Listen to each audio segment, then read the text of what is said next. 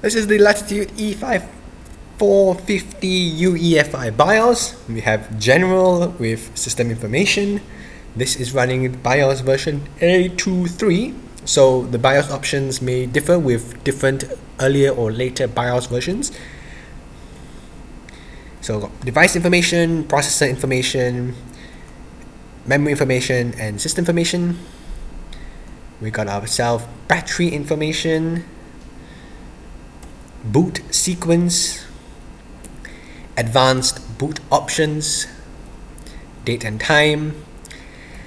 Then under system configuration, we have integrated NIC, parallel port, serial port, SATA operation, drives, smart reporting, USB configuration, USB power share, audio, keyboard illumination, keyboard backlight with AC, unobtrusive mode, miscellaneous devices.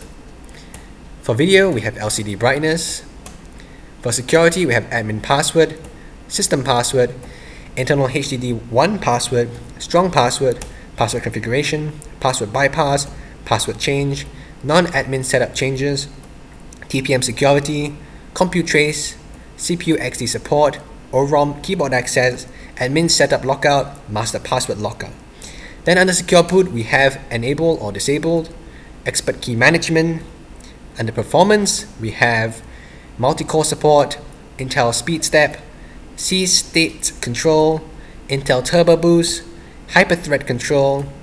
Under power management, we have AC behavior, auto on time, USB wake support, wireless radio control, wake on LAN, WLAN, block sleep, peak shift, dock support on battery, advanced battery charge configuration, primary battery charge configuration, Intel Smart Connect technology, and the post behavior we have adapter warning, keyboard embedded, mouse touchpad, numlock enable, FN key emulation, FN lock options, MEBX hotkey, fast boot, extend BIOS post time.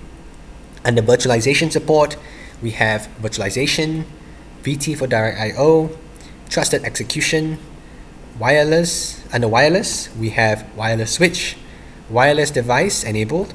Under maintenance, we have service tag, asset tag, BIOS downgrade. Under system logs, we have BIOS events, thermal events, power events, and that's it for the UEFI BIOS on a Latitude 5450.